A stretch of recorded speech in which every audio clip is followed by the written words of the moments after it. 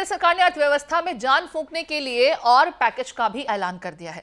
प्रोत्साहन पैकेज दिया जा रहा है। अर्थशास्त्री नवीन गुप्ता का मानना है कि सरकार के इस पैकेज से लोगों को नौकरियाँ मिलेंगी, साथ ही बाज़ार में तेज़ी भी आएगी। अर्थव्यवस्था मज़बूत होगी, साथ ही लोगों को इसका फ़ायदा मिलेगा।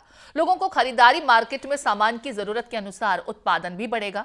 संवाददाता प्रभाकर ने अर्थशास्त्री नवीन गुप्ता से इस मुद्दे पर खास बातचीत की। अर्थव्यवस्था में जान फूकने के लिए केंद्र सरकार लगातार कदम उठा रही है और सबसे बड़ी बात है कि अब प्रोडक्शन स्कीम जो लिंक है उसके तहत करीब करीब दो लाख करोड़ के पैकेज का ऐलान किया गया है और निर्मला सीतारमन आर्थिक प्रोत्साहन के तौर पर डेढ़ लाख करोड़ के पैकेज का ऐलान और कर रही है। आप एक अर्थशास्त्री नवीन जी, क्योंकि बाज़ार में मंदी था, लेकिन ये जो सरकार कदम उठा रही है, इसको आप कैसे देखते हैं?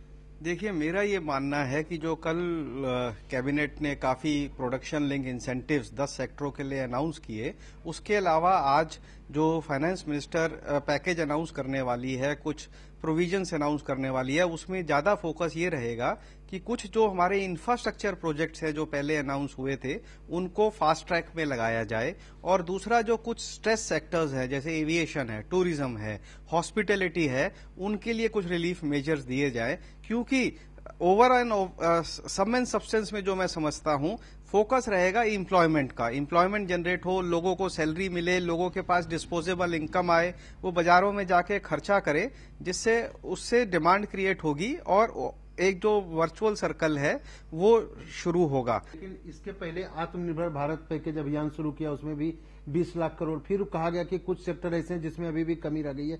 तो क्या वाकई ओवरऑल मतलब अर्थव्यवस्था में इससे तेज़ी आएगी? एक अर्थशास्त्री के नाम देखिए ये मैं ये मानता हूँ कि जैसे कल प्रोडक्शन लिंक इंसेंटिव्स भी दिए दस सेक्टरों के लिए दिए तो अगर मैं उसको देखूँ तोड़ूं तो मतलब जितना एक लाख चालीस हज़ार करोड़ के करीब का उसको over the period of four years है तो मैं ये मानता हूँ इन सेक्टर्स को इससे बहुत ज़्यादा सपोर्ट की ज़रूरत है but within limited means जो है कि मतलब जैसे कहते हैं ना कि आप किसी को फूल नहीं दे सकते तो फूल जैसी बातें तो करो।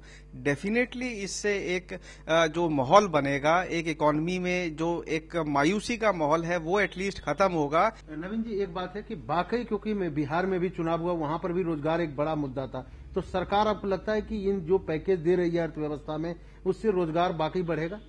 देखिए, रोज़गार ज़रूर बढ़ेगा, क्योंकि देखा जाए तो जैसे कल अब मतलब जिन सेक्टर्स को कल प्रोत्साहन मिला उसमें अगर हम टेलीकॉम लें तो टेलीकॉम क्योंकि 5G अनाउंस होने वाला है तो प्रॉफिटेबिलिटी रहे नहीं रहे मतलब कोई चारा नहीं है जो उसमें ऑपरेटर्स हैं, उनको 5G में माइग्रेट करना ही पड़ेगा, वो इन्वेस्टमेंट करना ही पड़ेगा, लेकिन उसके साथ साथ अगर इस तरह की सरकार से कुछ इंसेंटिव्स आ जाते हैं प्रोडक्शन लिंक्ड तो ज़रूर एक मोटिवेशन मिलती है इम्प्लॉयमेंट्स तो आनी ही है। तो सीधे तौर पर सरकार लगातार पैकेज की घोषणा कर रही है और इस पैकेज से अर्थव्यवस्था में तो जान आएगी, लोगों को रोज़गार के मौके मिलेंगे और रोज़गार जो जनरेशन है, उसमें काफ़ी फ़ायदा होगा। इस समय दिल्ली से कैमरामैन ललन के साथ प्रभाकर कुमार।